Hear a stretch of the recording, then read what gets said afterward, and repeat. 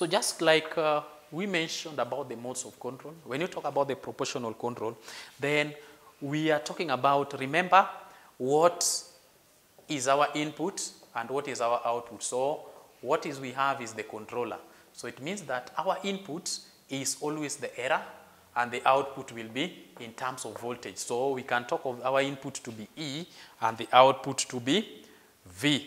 So in this case, uh, when we talk of the proportional control, just as we defined the modes of control, in the proportional control, we have an output that is directly proportional to the error. So proportional control produces a change in the controller output that is proportional to the error signal. And that is uh, what we say, what we mean is that there is always a fixed relationship between the value of the control variable and the position of the final control element. However, uh, the main disadvantage of uh, the proportional control is that it cannot always completely eliminate the error that is caused by load change. And that, is, that means that there, will, there is always an offset. And therefore, the, uh, the proportional control is, is always used when the gain can be made large enough to counteract the effects of large, uh, the, the effects of the largest load change and the proportional offset. Maybe we can represent this by use of the operational amplifier uh, uh, so that we can have uh, form an electronic controller that uh, is proportion that gives a proportional output in nature. So we have uh, that to represent the proportional. So here we can talk of R1. Then that is now the junction point where we have that. So in this case, we have, can represent the op-amp in that manner so that we have RF here. So this one is an electronic representation. And then, of course, we said that our input to this is the error E. Then the output is V. So that one is what we refer to as an electronic representation of a proportional control. Maybe we can look at very, very fast, we can look at the equations that guide this. So when you look at the equation that guide the proportional control, then we can see that uh, in this case, we can start by looking at the time domain equation.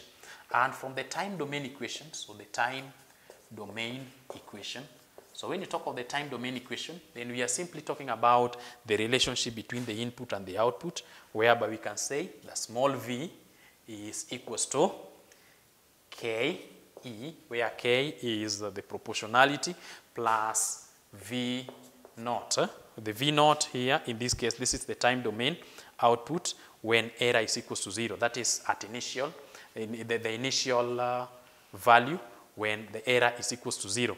So that is what uh, we have for the time domain equation. So when we take the Laplace transform of this, then we are going to obtain what we refer to as the frequency domain equation. And the frequency domain equation, frequency domain equation, frequency domain equation will now be, we usually write, the, when we change it from time domain frequency, the time domain equation to frequency domain equation, we can represent them in capital letters. So V is equals to K E, and the V naught will not be there because at Laplace transform, we usually say that we usually consider the initial conditions relaxed or the initial conditions to be zero. So that is the time domain equation. And we can obtain the transfer function from the same. We can talk of the transfer function, transfer function. So when you talk of the transfer function, then we are simply taking the output over input. And in that case, we can talk of V all over E is equals to K. So those are the most important equations that will be very, very important in analysis of a proportional mode of control. Maybe we can illustrate what these ones mean and we can talk about, in that case, when you talk of a small v, then a small v here is the time domain output signal. This is the time domain output signal. And the time domain output signal, it is always given as a percentage. Then we have a small v naught. So this is uh, the time domain output signal when E is equals to 0. Time domain output signal when E is equals to 0. Or we can say when E is equals to 0. When E is equals to 0 and it is also given as a percentage. Then we have capital V. So the capital V will be the frequency domain output. So frequency domain output. We have the frequency domain output. And this is always also given as a percent. And in this case, we usually refer to this as Laplace transformed uh, equation, and that one means that the initial condition is zero. So, and that one we usually assume. So this one is always when V naught is assumed to be zero. When you assume this V naught to be zero. So that is what happens. Then we can have small e. The small e is the error domain, uh, the, time domain error signal. So time domain error signal, that is the time domain error signal. And when we talk about uh, capital E, that is the frequency domain error signal. Frequency domain error signal, the frequency domain error signal. Then K is always given as the output, that is output resistance RF all over R1, that is what gives us K, where RF is actually the output resistance in ohms, is the output resistance, and that one should be in ohms, and R1 is the input resistance, again is also in ohms. So those ones are the definition of whatever we have been using in uh, the time domain equation, frequency domain equation, as well as the transfer function of that particular uh, system, or that is the proportional control. So maybe we can look at uh, uh an example very fast so that uh, we can see what it is all about. Look at an example. Uh, I can talk of, uh, you say. So an electronic controller, an electronic controller, an electronic controller.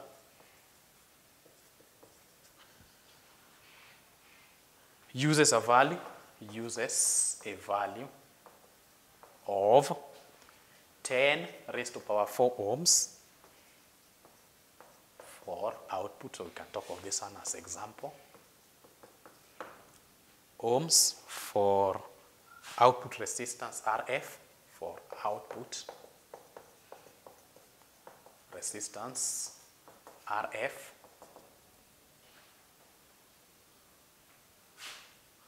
Determine the value of R1 for a gain of 0.2. Determine the value of R1 for a gain of 0.2. Determine the value of R1 for a gain of 0.2. So in this case, what we are simply talking about is that uh, the solution here, solution, we have been told that K is equals to RF all over R1, and we know what R1 is and we know what RF is. So in that case, we can say K, which we were told to be 0.2, is equals to 10 raised to power 4 all over R1, which simply means that R1 is the same as 10 raised to power 4 all over 0.2, all over 0.2, which if you do it properly, you are going to get 5 times 10 raised to power 4 ohms. So that is a simple calculation on uh, proportional control mode. So that's a simple calculation on that. So let's look at another mode of control. This, the, the third or fourth is the fourth mode of control. Uh, that is what we refer to as the integral control. integral control. Talk about integral control. So when you talk about the integral control, then just like uh, the proportional, the, the mode of control that we are talking about now is such that uh, it is always determined, the relationship between it and, and the error. That is what determines uh, what type of control. So when you talk of the integral mode, mode, mode control, then in this type of control, uh, the changes of the, out, the, the cha it changes the output of the controller by an amount that is proportional uh, to the integral of the error signal. That is to say that the change of the controller output during an interval of maybe 0 to t seconds is proportional to the net area under the error curve. And that is between 0 and t as maybe we can illustrate here. So we can talk about uh, maybe a simple representation of this. So we can illustrate that. Maybe we can talk about this as the output V. Can represent output V. Then here we have a 100. Then from there we have 0. Then let's say that that one represents constant. Then we have that. Then a little bit steeper. Then goes constant, down, and constant again. So this one will give, this one is given when you talk of the error. So let's talk of the error here. Maybe we can look at them at those particular points where there are changes in the graph.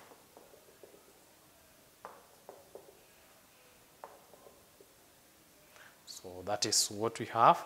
So whenever we have that, when you integrate a constant just like that. So here we have error E, here we can have 0. So when you integrate that, there will be no output there. That one, there is nothing. So when it is that way, it becomes a constant in that manner. Then it goes higher. There, it's nothing. So there is no content. Then this one, it comes down. So that is the relationship of a graph for the error and also the output V as far as uh, the integral mode is concerned. So when you talk about the integral mode here, then we can always have uh, uh, an equation for the same. So the equations uh, that we're going to look at is uh, for the integral mode. So we can talk about the time domain equation and also other equations for this purpose. So when we look at this here, then we can talk of the time domain equation. So when you talk of the time domain equation, when you talk of the time domain equation, then we can say that small v is given as 1 all over ti integral or between 0 and t e dt plus v naught. And then when you talk of the frequency domain, that one now you take, convert it to Laplace transform, frequency domain, frequency domain equation. Then that one we can talk of V is going to be given by 1 all over TIS. Then the all of this one is multiplied by E. So we know that the integral will bring 1 over S if you write it in if you change it to frequency domain, so that is where the, that S comes from. Then the transfer function, transfer function, V all over E is going to be given by 1 all over TIS. So that is uh, what the transfer function will be.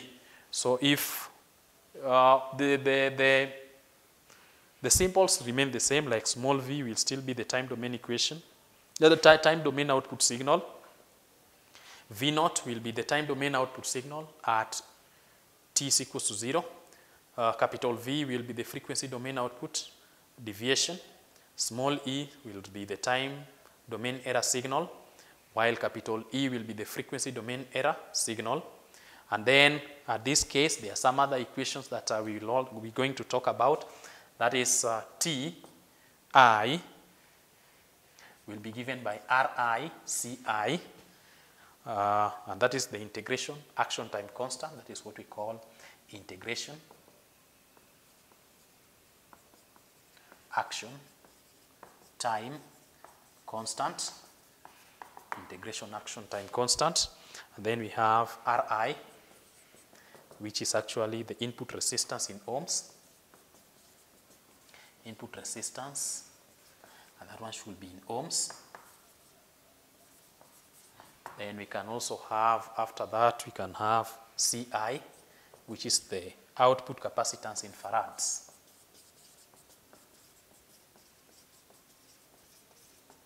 In farads.